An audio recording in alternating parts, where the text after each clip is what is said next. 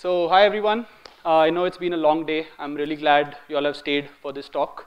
Um, so, we're going to talk about uh, what DevOps can learn from sports teams. Uh, my name is Mohit. I am the co-founder of uh, dev2prod.com. I'll tell you guys what that is a little later. Um, so, let's get started. First, I want to clarify something. Um, I disagree with what Mike said this morning that DevOps is just a fancier name for sysadmin. I don't think that's what DevOps is. I think DevOps is about enabling the business to go faster in a reliable manner, and it's about teamwork. It's about everyone working together, and that includes everyone from your business analyst to your sysadmin to your site reliability engineer, everyone working together. So DevOps is really about teamwork, I think, and uh, that's really what I'm here to talk about today. So with that out of the way, let's start with lesson number one. So I have a question for you guys. Uh, what do you think sports teams spend their time doing? Right? So most people, when I ask them this question, they say playing. But the real answer is sports teams spend most of their time in training. I'd guess 75% of their time. And this, is, this applies to teams and individuals from a young age, when you get into um, you know, a youth division of a, a sports team, you're training most of the time, right? So this is the first lesson that we can learn from sports teams. How much time do you spend on training on your job? You probably spend your time on features and bug fixes, and your boss says, you know, you learn something on the job, right? Maybe four years of college, but at least Indian colleges don't count, in my opinion, as genuine training. Now, there is a difference between learning on the job and learning with intent. So there is this concept called deliberate practice. Have you guys heard about it? There is actually research done by uh, social scientists. Uh, there's a paper in 93 that came out they studied how uh, experts like uh, pianists or violinists or, or chess grandmasters, how do they get to that level of expertise? And the answer is deliberate practice. Deliberate practice is systematic practice aimed at bettering yourself at a certain skill. It involves a lot of repetition, it involves feedback, it involves setting goals for yourself and eventually getting better at something that you're doing. So sports teams do this all the time, right?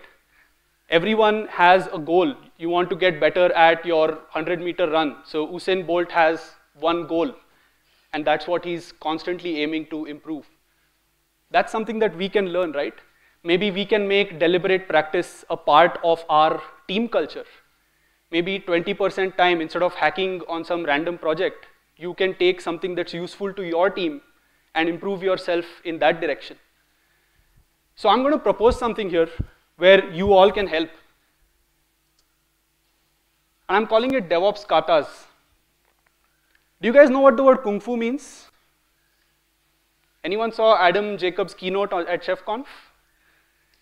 Okay, the word Kung Fu does not mean what Jackie Chan does. The word Kung Fu actually means any skill which requires an investment of time, patience, practice to master right? So you can actually have kung fu in programming or kung fu in chess. Make sense?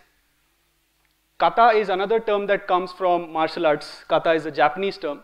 Kata is a form that is repeated over and over again with the goal to improve. So in the Japanese martial arts, there is this concept called shu ha ri. Okay, three words. Shu means you are a, uh, shu literally means obey, I think. So in shu, when you are in the shu state, you just copy. You just do exactly what the master tells you to do. You do not question. Then the actions become natural to you, muscle memory, right? You don't have to think, it, it just happens. Then you reach the next state, ha, where you start questioning, why am I doing this and not that instead, right? And then when that becomes natural to you, when you start asking good questions, you go into the ri state where you transcend and, and where, where you start inventing and where you start innovating, right? So I think we go through a similar state, uh, states of learning when uh, we go from novice programmers to maybe intermediate programmers to expert programmers. But what I'm suggesting is that uh, as a community, we can collect patterns that we see that are often repeated, and we can practice them. People have done this already with Code Kata, right? Have you all seen Code Kata? So what I'm suggesting is that let's do something like Code Kata, but for DevOps instead. And I've created a repo at uh, on GitHub at dev2prod slash DevOps katas. So I've added two katas there. Um, they have interesting names. One is called Enigma, and one is called Etched in Stone. I'd uh, invite you all to please take a look and uh, give solutions to those katas. How did you solve these problems in, in your practical life? Uh, what different approaches you used, what worked, what did not work. But more importantly, I'd love for you guys to contribute your own katas. So please uh, send me pull requests. So that's about deliberate practice. The next lesson, measurement. So this is Grafana. I'm sure all of you have seen this and implemented it.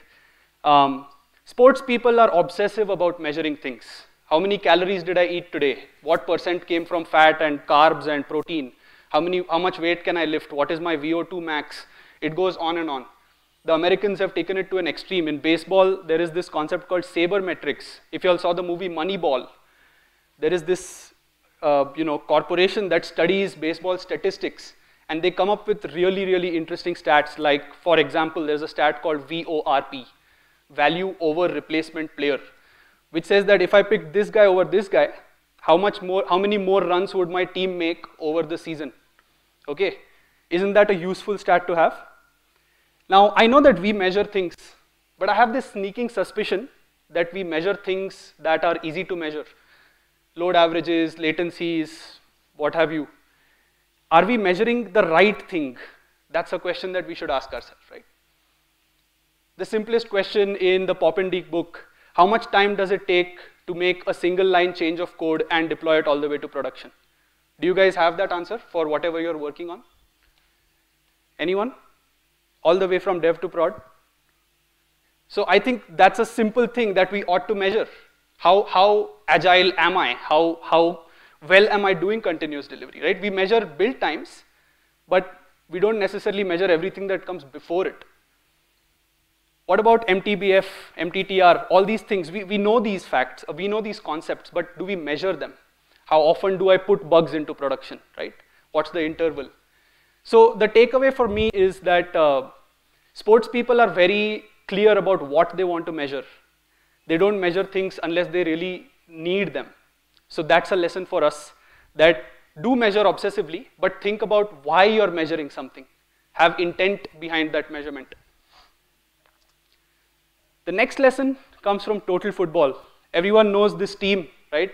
It's become, I mean, Messi on the uh, left there is the most famous guy in the world, but he is able to score so many goals because there's an awesome team around him that's feeding him uh, the ball, right, in the right areas.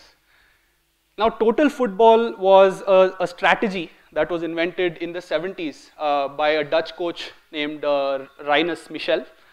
Uh, he was the coach of Ajax Amsterdam and uh, also the Dutch football team later on. And uh, he partnered with a player called Johan Cruyff, who was probably the Messi of his time. So what total football says is that, you know how there are positions in football, right? So you have attackers, you have midfielders, and you have defenders. So total football is saying that anybody can play any role. If you, if you see space, just go for it. Somebody else will take your place. Don't, don't say that I'm the defender, I'm not going to shoot, I'm not going to score. If you're up there, if you're near the opponent's goal, just go for it. Right? So that frees up your players to be more creative, to make space, to focus on scoring goals.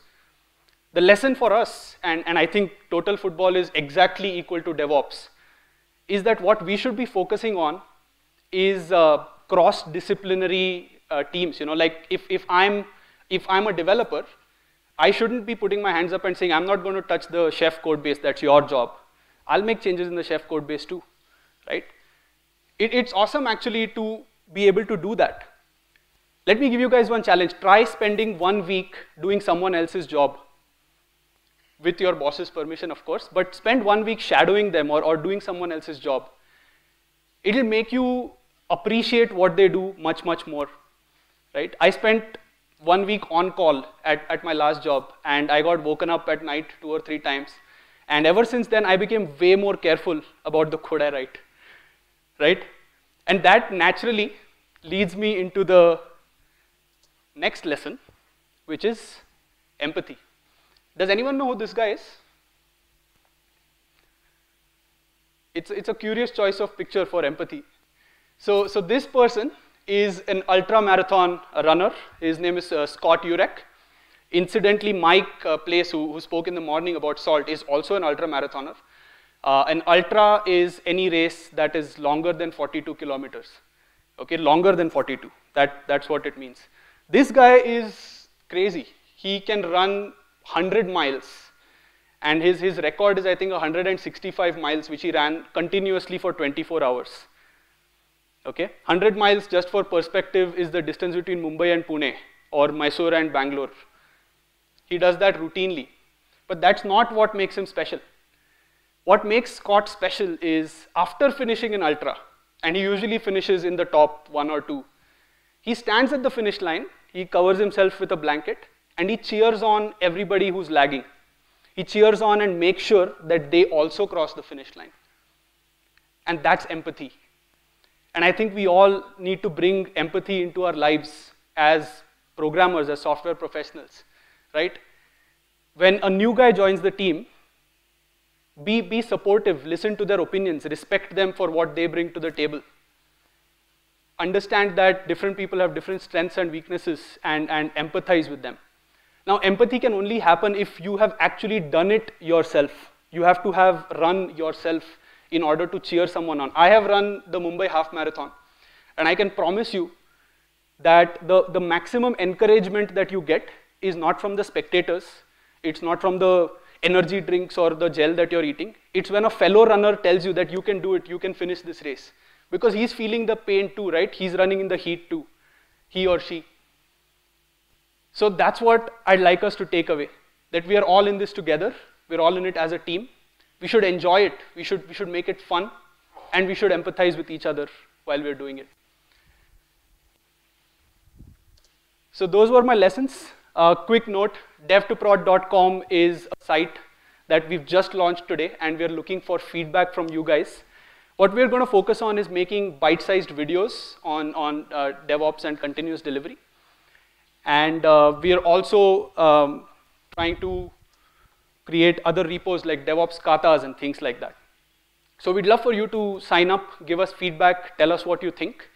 Um, that's me on Twitter, Mohit Thatte, and on GitHub, I am Pastafari. That comes from Flying Spaghetti Monster fame. Um, so thank you all for staying back for this talk. I hope you had a good time. Any questions?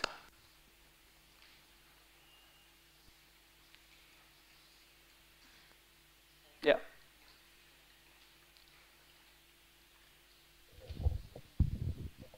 Yeah. Uh, so you said about that philosophy where you spend some time doing someone else's job, Yeah. or you know, uh, like if you, you are as a uh, mobile developer, you spend some time doing web development for a week. Right. But is it a practical thing that can happen in a fast-paced startup? Have you so like you said you spend time doing on-call? Probably that company Yeah. was big enough to, uh, you know, basically afford one person switching jo- uh, a role for a few days or so. But Right. in a startup, when we really want to set up this culture, how how can we manage that? So, so that's a great question. So to answer one part of it, the company where I worked previously, developers were also on call. So it was a part of my job as a dev to also be on call. Okay, so that took care of it. Um, secondly, I think in a startup we already play many roles. I think in a startup, if, if you're a small team, then you're already playing many roles, right? You're already probably doing QA, you're doing your own dev, you're deploying your own code. So, so you are you already you know have that kind of uh, feel for what all the roles mean. Um, this probably applies more to larger structured siloed teams where a person is a QA, a person is a dev, a person is a BA. That's where I think uh, it, it would be more beneficial. So I'm, I'm not sure if startups are the right context for that suggestion.